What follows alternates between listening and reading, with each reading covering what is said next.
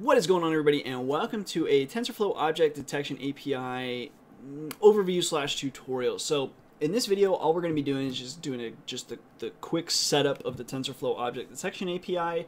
Um, I'm going to try to, I'm going to be doing this on Windows mostly since my main focus of using the TensorFlow Object Detection API is in uh, games which run on Windows and not uh, Ubuntu and not very well as, as often on Mac. So anyways, I'm going to be doing it on Windows. I will point out a few slight differences on Ubuntu, but it's basically the setup is, is the same. So we're just going to set it up, get to the point where we can uh, detect things in an image like this, and then in the subsequent videos, we're going to show how you might customize this to your own images and then to your own video. And for my purposes, the video will just, will use, uh, you know, streaming video from, say, Grand Theft Auto. So anyway, um, but you could change that to be your webcam or, or whatever. And actually, maybe first I'll just do it with the webcam. Anyway, enough on that. Let's set this up. So uh, they actually do have installation instructions, and you could totally just follow those. Um, there's like a few things that'll hang you up though. Like for example, like installing TensorFlow GPU is not that simple. It'd be great if it was that simple. It's not. So anyway, um, so if you need uh, instructions on installing TensorFlow GPU, um, I've got tutorials on that. Um, yeah. So anyway, um, one thing to note that's actually uh, the reason why this is so useful is um, detecting things in images has all, has been like something you could do for a very long time. But detecting objects in images that you could stream those images, like on a video, so like to detect things at like 15, 20 frames per second, um, especially if you want decent accuracy, is was a big challenge. Um, so, and to write the code that's going to do this for you yourself would just take forever. So this is a, a huge offering from TensorFlow. Um, so thank you uh, for that.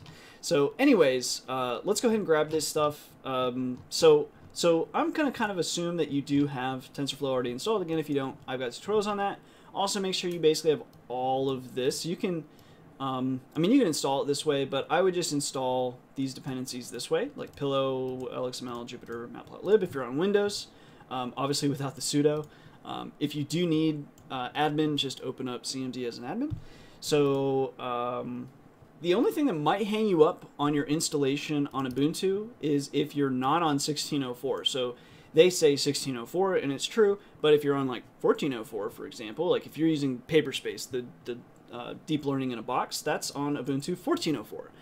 Uh, the only thing that will hang you up there is um, basically your protobuf compil compiler, and I will cover uh, what you'll need to do to, to fix that. So anyways, make sure you have all these, including uh, Jupyter, pip install Jupyter. Um, and then once you have those, um, I think I'll take it from here. So, so uh, the first thing we want to do is, is get the models directory. I'm going to just clone as a zip um, if you're on Ubuntu, just git clone git, github.com slash tensorflow slash models.git. Super simple. While we wait on that download, um, I'm going to come over here. It's just github.com slash google slash protobuf slash releases. And these are all the releases for the protobuf compiler. Um, I'm going to, because I'm on Windows, grab this one. So for Win32, uh, save. And if you need it on Mac for whatever reason, you could download that here. If you need it on Ubuntu, you can download that here.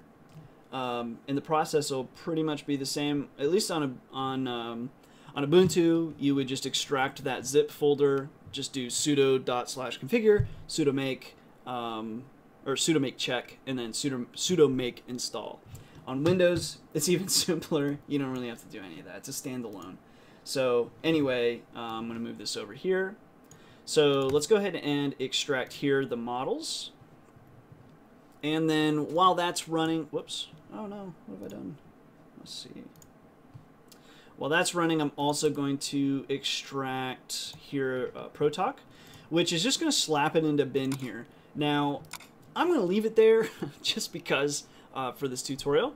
I would suggest you probably take it and put it in um, like your C program files or, or something more useful than in downloads. At least if you're like me, I clear out downloads relatively frequently, and so eventually I would just delete this by accident. Um, but I'm going to leave it here, and then we just specify the full path. So protoc is right in bin. So, um, yeah. So moving over here, once you have those two things, we're going to come back over here and uh, pop into object detection. So the next steps are to set up that, you know, point that compiler basically. So let me just come back over here, installation. So it wants you to do the protobuf compilation. So from within that models directory, it wants you to run this. Now again, if you're on Ubuntu and you run this, and I forget what the error is, but if you get an error, um, you probably have an outdated protoc. You can check it by doing just just in the command line, just or terminal protoc dash dash version. If it's like 2.4 or something, um, that's the outdated version. I believe the most recent is 3.4. Yeah. So if it's not 3.4 um, and you get in there, go ahead and update it. That's probably your problem. So anyway, um, so we need to do this step as well on Windows. So I'm going to pop this over here. Um, inside models.master, um, I'm going to go ahead and rename this just to models. That's what it is. And inside just straight up models, you want to run the following command. So let's just go ahead and copy that. Come over here, cmd, right click. Now, Protoc isn't going to, you're going to get this. Protoc's not a recognized, blah, blah, blah. So a lot of people ask me about, like, this is like something people are like, I'm getting this unrecognized command. Well, it's because it's not in your path. You, we could add it to our path if we wanted, or I'm just going to specify the full path to Protoc. Where did we go? There we are. Um, I hope that's big enough for you guys to see. I think it. I think it is. Anyway, C colon slash um, users. Is that right? I think it goes users H, and it was in downloads, downloads slash bin slash protoc. I think that's right. Oh, it was right there. I'm blind. Anyway, yeah. So we run that, no errors, great, we're, we're good to go. Um, then if you're on Ubuntu, or probably Mac as well, um, you're going to want to export here. Um, to be honest, I don't even know what that line's doing. Someone comment below and tell me what the hell that line does. Um, I'm going to wager that's not necessary on Windows. And then finally, you could test the installation, but mm, we're gonna we're just gonna we're gonna run the uh, the, uh, the Jupyter Notebook. So now what we want to do is let's go ahead and change directory into object detection. And then I'm going to do Jupyter Notebook. And then I'll pop up the Jupyter Notebook for us. Um, come down, where's IP? There we go. IPy Notebook. And this is just a very quick demo. Um, basically what it's going to do is it's going to download, and in fact, let's just run all and I'll kind of explain what it's going to do. So run all. Um, what's going to do is it downloads a pre-trained model for you, uh, and the pre-trained model is this one here, uh, which is COCO, which is stands for Co Common Objects in Context, if I recall right. Um, I think it's 300 objects, but I'm not positive. Um, but it's just a bunch of common objects in context. so anyway, um, it's going to download that. It's a pre-trained model. Now later you could train it on your own. Um, you can basically train your own model if you wanted, or you could also train um, like you could continue to train their already pre-trained models. So depending on what your goals are, one might be easier than the other, especially if you're like trying to detect similar like things. It's it's probably it's pretty much always better to, to go off a pre-trained model.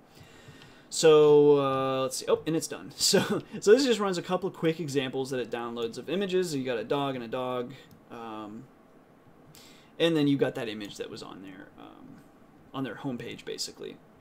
So um, running this whole IPython notebook takes a little bit of time because you're kind of setting everything up.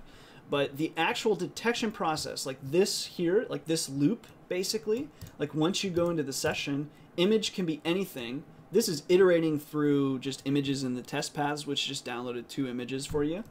Um, but this here, this process, this loop, is from what I've found to be somewhere between like maybe 15 and 20 ish frames a second. So you can stream really well.